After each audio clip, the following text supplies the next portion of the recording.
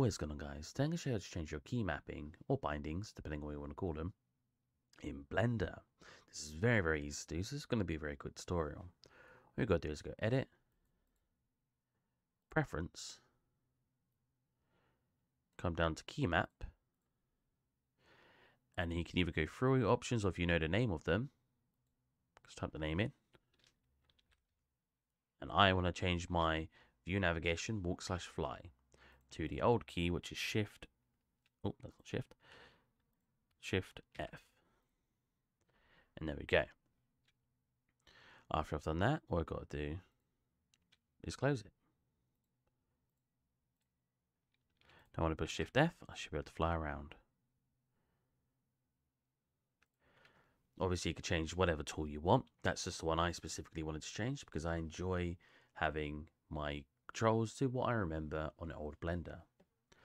Hope this helps some people. Hope you enjoyed the video, and I'll catch you next time.